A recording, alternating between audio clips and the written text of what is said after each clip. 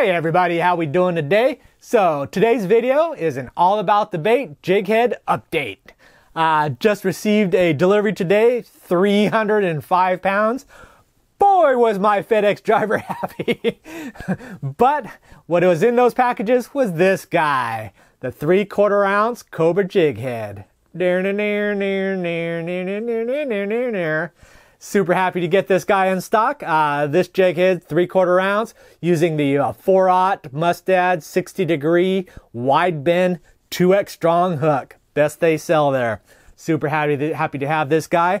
Um, the Cobra jig heads are basically to augment the yellowtail snapper jigs I carry.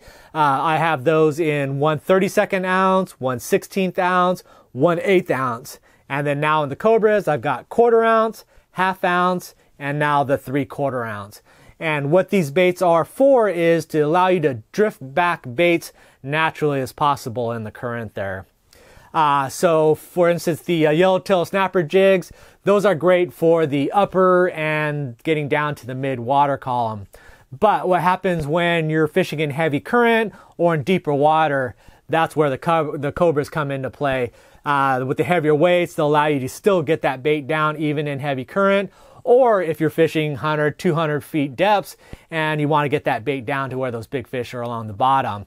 Groupers, mangroves, muttons, and so forth. And works the same if you're drifting the reef edge and you're wanting to bounce baits along the bottom. That's what these will be excellent for. But wait, there's more. Um, I always thought that they'd also work great uh, with the way they're built is that they're bottom heavy, so they'll sit with the hook up, is to work really well with uh, artificial baits. So I had them designed with these two uh, bait prongs on there, the spikes on there. Um, right now they're set up to be work with uh, if you use bait tails, where it's basically the soft plastic bodies with the tail on it, basically have the heads cut off. So the big prongs are really good for the holding onto those baits. But let's say you're using a thinner bait like a gulp shrimp.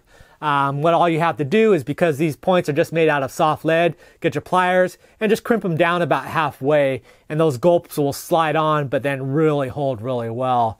And also the same if you're into uh, making your own bucktail jigs. Um, you can basically take some dikes, cut off most of the prongs, just leave a little upper cut there, and then that'll hold your wraps and then make your bucktail jigs. So a lot of uses for these uh, uh, jig heads there.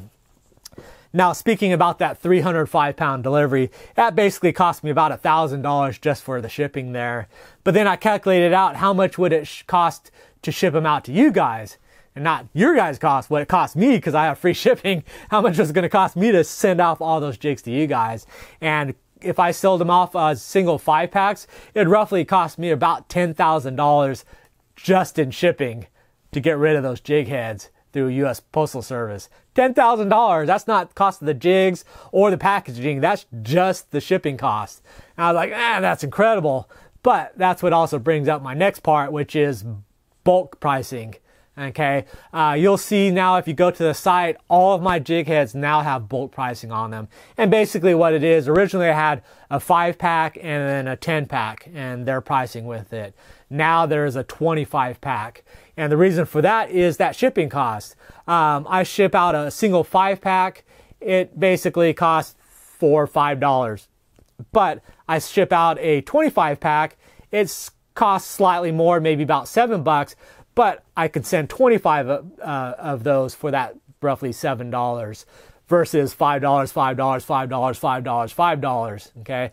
And with that huge amount of savings, what it allows me to do is bring down the cost and then pass that savings on to you guys. So roughly what you're looking at is the individual costing for a single in the 25 pack will be about half the cost versus buying a five pack. So way considerably cheaper there. So I think that'll do really well.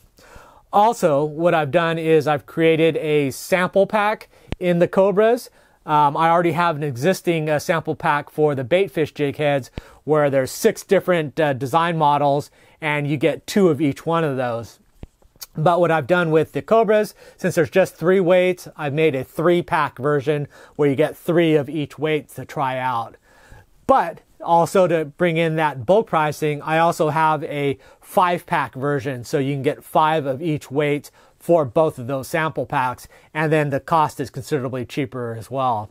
Uh, now, those sample packs, what they're for is buy them once, okay? And what that is is to get all the different sizes, try them out, figure out which one that you use. Because generally, for your area, for the species, for the type of bait you're using, it's going to be one of the rough one or two of the sizes. Okay, you're not going to use all of them all the time.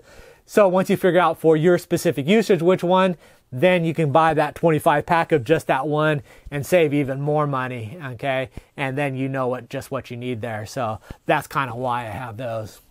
But overall, boom, Cobra jig heads now in stock all of my jig heads because that's what the 300 pound was was all my jigs. So i was out of stock on the uh, two of the three aught sizes and one or two of the uh, four aughts in my fish head jig heads plus the variety pack i was sold out. So now those are all back in stock plus they have the bulk pricing available as well. So get them while you can. Uh, with the cobras remember uh, i have a limited initial start out because i'm just checking out the shipment of them. Uh, once they're gone, I have to wait for mustad. So at the minimum, it's going to be a, a week. So uh, once the, uh, it's going to be next month. So uh, the minimum, once I run out of these things, I just have like 2,000 or started off with 2,000 of each. Once they're gone, I uh, got to wait for them. So pick them up while you can. But uh, otherwise, good to go. Um, I will be making some new videos for these jig heads so far, the only one that I've done a video about was this one, my smallest, weakest jig, which is the 8 ounce with the 3 aught standard heavy duty jig head. I've been matching that with the 2 and 5 eighths paddle tail, and that's what I've been using to catch all these tarpon I've been doing in the backcountry, uh, 15 to 40 pounder tarpons and that's all been on this single jig head. So I've got 10 different jig heads I need to start doing videos on how to rig, how to use, when to use them, and so forth. So keep an eye out for those in the future. But anyways, uh, thanks for watching and check out the vid jigs at www.allaboutthebait.com. Bye.